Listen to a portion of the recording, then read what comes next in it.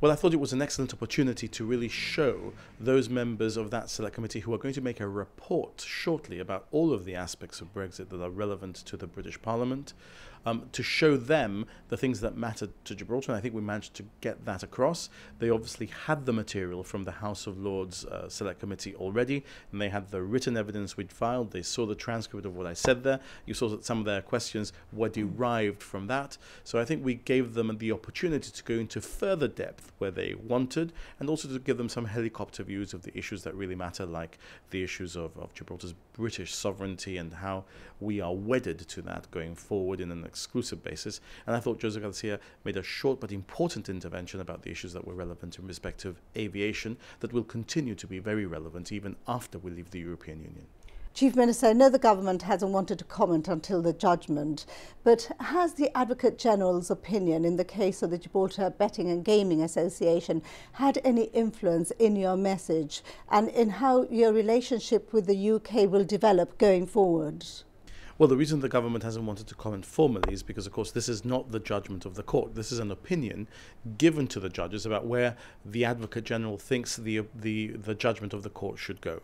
But if we were to look just at the the opinion of the Advocate General, I would say to you that I think in the context of what we have seen said um, outside of the United Kingdom and outside of Gibraltar about how Gibraltar should not perhaps be seen as part of the United Kingdom's negotiation in respect of its exit of the European European Union. I think this is a very valuable judgment indeed about how we are to be treated uh, in respect of that negotiation uh, and how the future relationship with the United Kingdom uh, may be determined. Because, of course, this judgment says that we and the United Kingdom are to be determined to be seen as one member state for the purposes of interaction with the other member states. And I think, therefore, it is a very, very important piece of the jigsaw puzzle that is Brexit for Gibraltar as we go, go forward, the very complex and, and sophisticated jigsaw puzzle that we are trying to put together here. It's anything other than simple, and this is another important part of that jigsaw. Chief Minister, travelling to the European Parliament on Sunday, what sort of message can we expect you to deliver there? Well, remember that the European Parliament is set up in principle a lot like the British Parliament, and, most parliaments are. It has commissions which are like select committees. This is the Constitutional Affairs Commission of the European Parliament. The setup is slightly different. Um, there is a presentation from the party appearing before the committee, so I will get the chance to speak first for about 20 minutes and make a presentation of the issues that are relevant to Gibraltar. Um, then the questioning will come, and that will be about 40 minutes of questioning. And there, um, I will be uh, questioned not just by MPs or MEPs, rather, uh, of all the different political persuasions, but also from all the different nations that are represented in the European Parliament. So, not all nations are represented in each uh, committee, but we know that in particular, uh, Spain is represented there in respect of the different ideologies by some PSOE uh, members of the European Parliament and some Partido Popular members of the European Parliament, who, who as you know, um, have been saying some of the things that they will be putting to me in the context of that intervention, and I will have an opportunity of putting to them very directly the views of the people of Gibraltar. So, if I could pick out one thing that is important about next week, I think next week will be the first time that Spanish politicians will be putting directly to a Gibraltarian politician the concept of joint sovereignty. Now, in the past, these things have been done uh, by presentations to the United Kingdom, by letter, etc. Never, I think, in the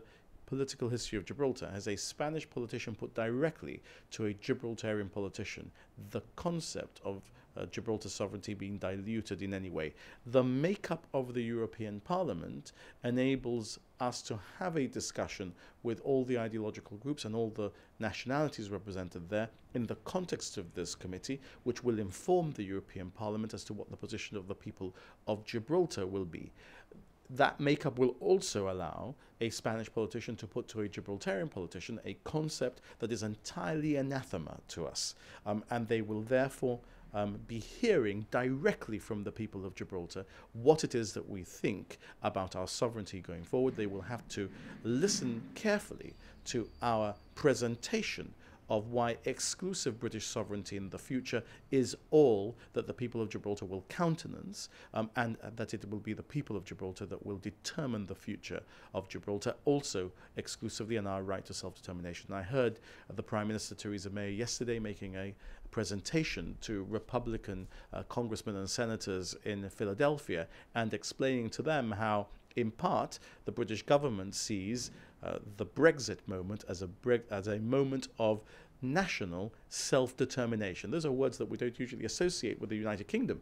We associate them with overseas territories, and in particular with Gibraltar, in the context of the macro political issues that uh, are relevant to our relationship. Well, this will be the moment where our national self determination is expressed also in the context of that European Parliamentary Commission.